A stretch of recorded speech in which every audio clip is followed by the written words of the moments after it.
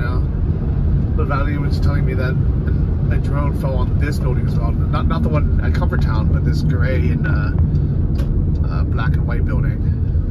That's why it's dangerous to live in the tall buildings because Yeah. they uh, they take all the hits. I have people who live on fifth floor and they always go down when there's an air raid. Yeah, but I think when you're on like the 14th floor or up, like it's it's really scary. Especially because you can also see everything, all the Star Wars going on in the sky, right? Yeah, You yeah. can see everything. So we made it to Vadym's apartment. You, you guys have been here before. Uh, we're gonna drop off this car, and we will get some food in his sports car, guys. So uh, Vladimir was telling me about how these garbage. He is responsible for these new garbage cans, Yeah, and he did it through an app. yeah. In, uh, Kiev, you have special application where you can leave complaint with picture if you don't like anything. It can be related to anything, like parking, uh, asphalt quality, trash cans, lights, uh, glass, whatever, Yeah. whatever mess And somewhere. How long did it take, like, from when you uh, wrote this to the app and those showing up? Uh, less than 16 days. They put it in like four days. Wow. But they put only two. They said we have like 20 of them, but they already assigned to specific okay. addresses. We have only two available. We'll put two now, but we'll put next two. to the, every entrance uh, later. Wow. They responded in four or five days. That's crazy. Even during war, that they're like they're doing this stuff. It's That's actually cool. getting better. It's getting Yeah. better because they understand they are responsible. Like if you go to Europe, you have to act like a European country. Yeah. You cannot I- stay a Soviet country. You know what? Honestly, I. I think in Europe you, you could complain and it won't be there.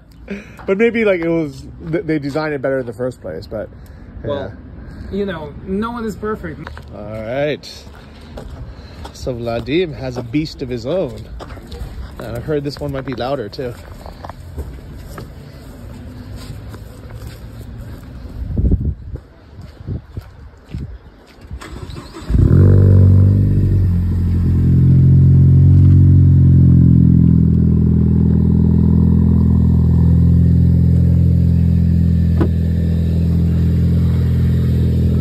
Nice. I hear the turbo. Yeah.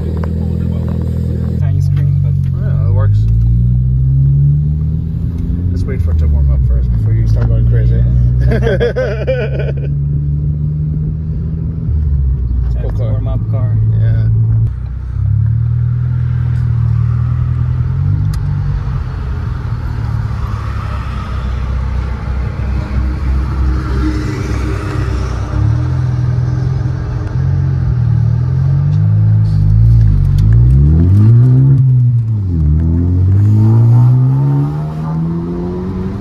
Whoa! Too much power.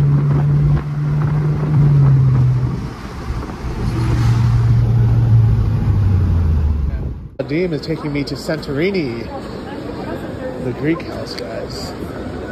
I've, I've, I've been here actually before, ironically. Never been to Greece yet. Well, today we're going to Greece right here.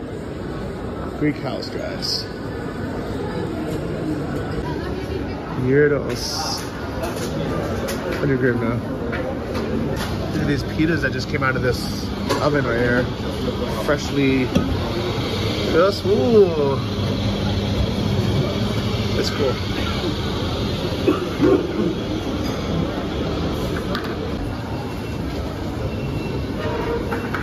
Alright. How's it look? Oh. That was good. Alright. Never seen Greek fries like this before, but it looks Yeah. good. As Greek as possible. Mm. Yeah. Salt is amazing. Alright, uh, I'm so hungry. Alright, I think mine is up. Oh, beautiful. Dziękuję. I got myself a coffee. Actually, do you have the vanilla one?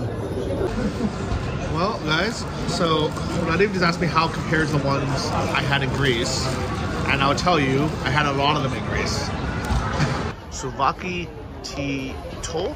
I got one of the Souvlaki chickens and one of the porks. I think this is the pork. And guys, it is my mission this week to find the best souvlaki in all of Greece. At least all of Athens. Starting with this one. Let's start with the chicken, guys. It looks good. Pretty filled, pretty big. Warm uh, tortilla. Pita. Mmm. Really nice flavor to it. I can't tell you what it is. It's like um, maybe it's mayonnaise.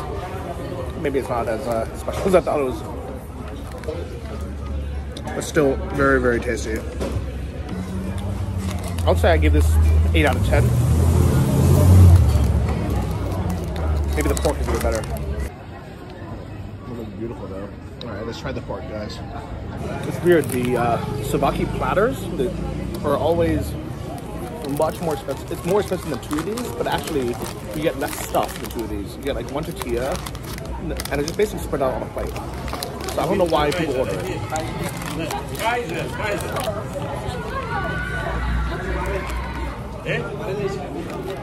Probably not a good thing, but I can't tell which one is pork and which one is chicken. I think this is pork. Alright guys, I think I figured out what the sauce is. it tastes like Big Mac sauce, which is a bit strange. because I never had a gyros with this kind of sauce, but it is good. A little bit sweeter than you would normally make it, but very friendly uh, owner, very tasty. Two euros 80, super cheap. So recommended.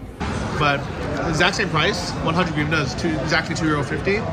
Obviously the ones in Greece are much better, but I'm just happy that they're at least trying to make something here that is like different than just the, the typical shawarma you get every day. So big kudos and shout out to Greek House. You get A for effort. Probably B minus for execution. Who is this? Who is it? Who is it? Who is it? oh yeah! Sammy Lucci. Hello. Hi. Oh, Mace. Mace. They're about me. Kiss. Give me a kiss. So So I got myself a nice ice cream. And a nice babusha picked out for me. And Vadym was nice enough to get Cynthia a takeaway gyros. He brought a little Santorini to you. And these guys get nothing, sorry. Greek food. Uh, so we were talking about the story of my ice cream. I actually asked this like babushka in there, which one's the best?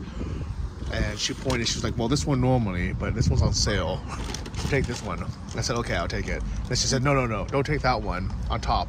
Always get the one on the bottom. So she starts like digging through to the bottom to find like the best one. I think she moved, she like moved like six of them. She was like, and they're all the same and they're in a package. And she's like, no, no, not this one, not this one. And she like digs in, like she like her whole body's like in the fridge. And she's like, this one. I was like, thank you. But I swear to God, this is the best ice cream I've ever had in my life. And this was 20 grivna, Yeah. which is like 50 cents. And I think it has something to do with the grandma love. For sure. That's like came from her. Even though I paid for it, it, it was still her that that handed it to me. I mean, you could ask her to pay for you, but I it would be like, even better. like a week's salary for her. For imagine. Mm. Food's always better when it's given. How, how's your girls? romantic. Oh, I thought you were not recording. Yeah. How's your girls? I said my gyros is great because it came from my husband, not from a hmm. grandma. Hmm. But that's why it's extra tasty. Even though you have a joint bank account, Yeah, even though still counts. no one has to know that. No count. It's in my mind. It's in my mind. As we mm-hmm. say in Dutch, it's between your ears, or you say that in English too. How do you say it in Dutch? Het zit tussen je oren. Huh? Het zit tussen je oren. It's It's sitting between- here though. It sits between yeah, your yeah, ears. Oh, okay.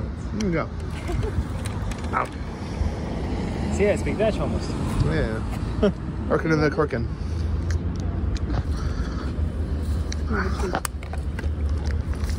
Gentle. Treat. Mm. Your mommy is so thoughtful. She has bag with treats, huh? When I finish my ice cream, I can finally play with these guys. Hey, Sammy. Hey, you miss me, buddy? You miss me? Still remembers me. It's like, I never left. Mace. Hey, hi girl. I want to go back to my, dad. Ah! He's headbutting me. I'm headbutting you back. You didn't feel it. Uh, Mace, He's a scared. what's wrong, Mace? You miss me, right? Who's the sweetie? You're the sweetie.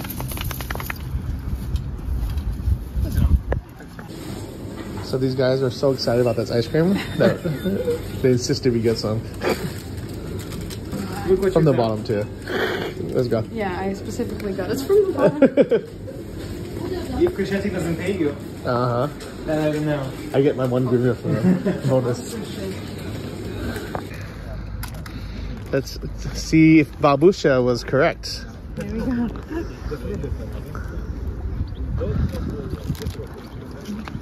But it's really tasty. I love the chocolate. Taste of my childhood. I think it has like a good ratio of chocolate and and ice cream. Mm-hmm. And you, you taste and this like cacao taste and super milky, super creamy this white part. Yeah. Yeah. You, do you want to see the ratio? Oh, it's perfect ratio. So Vadym, this is your first time having it, yeah? No. But it makes me think of my childhood. so you had it, so really you had it as a kid. Yeah. Oh wow. Well, It's my first time. shout out to Khreshchatyk, which is also the street, that main street we live on. Nice.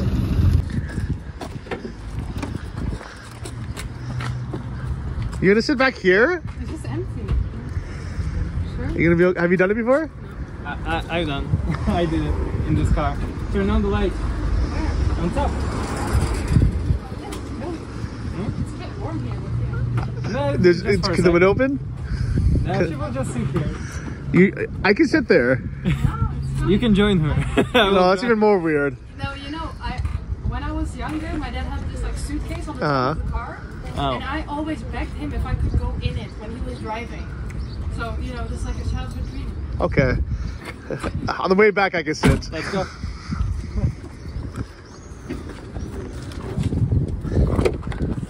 And in those cars, see, there's usually a window here. Yeah, but this not one in doesn't. one. Oh my god. we are driving with a uh, passenger in the trunk. Supposedly.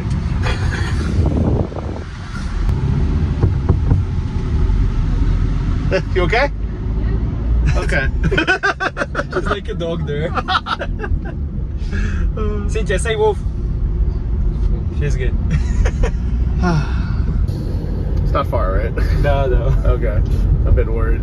no, that's that's fine. I also been sitting there with, with my parents. Yeah. I used to do it in the back of a station wagon, but not in the back of a transit.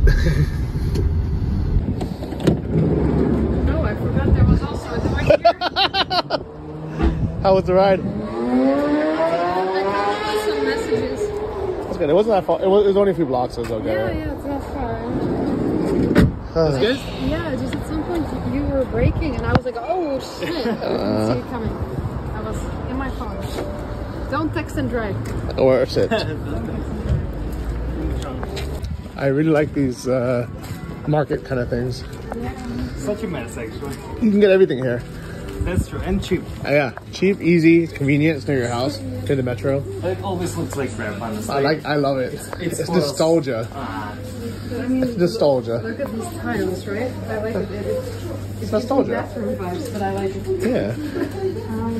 I like civilization. I like European style. No. and everything is maintained. They don't need it. What are we getting? They they don't have it. Garage. Nie jest? No. Гара- А гаража нет тогда?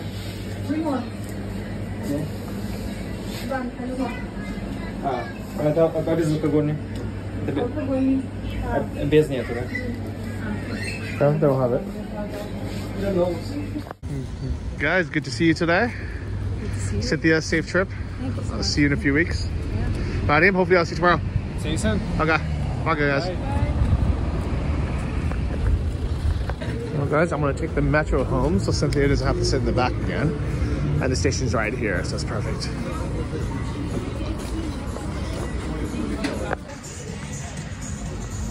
So even though where I live in the center is a lot more convenient to go to restaurants and bars and cool things like that, living out here is super convenient if you want to like buy cheap things like clothes, food, fruit, get a haircut, go to this like cell phone shop to get a new uh, case or something, want to buy a liter of beer.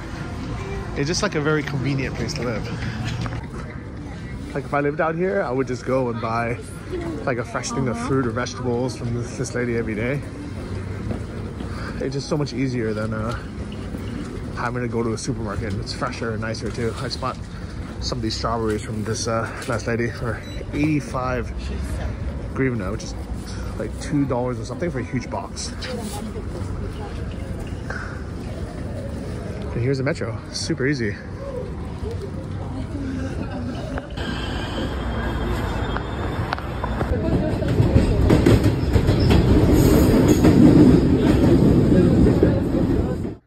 Really good to see Vadym and Cynthia. Thank you for showing me around your hood. Uh, I really enjoyed that ice cream. If you guys are ever in Ukraine, please get yourself some of this. It's called Khreshchatyk, uh, which is the main street here in Kiev.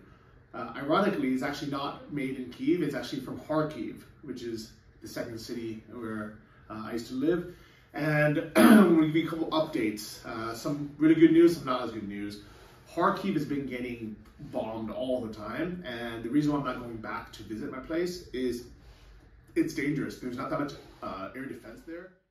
So this what just happened a week ago uh, in the center of Kharkiv, really close to where I live actually. Uh, and what's scary is you don't really hear about it very much. Uh, even in Kiev, people don't really talk about it because everyone just knows what's happening, but there's not that much they can do about it. But unfortunately, the residents, I mean, there's over a million residents in Kharkiv, they have to suffer through this, and there's not really not that much they can do. It's so close to the border regions of of Russia, which is another reason why there it's it's good that um, Belgorod region is becoming kind of a buffer zone because it the buffer zone used to be on the Ukrainian side.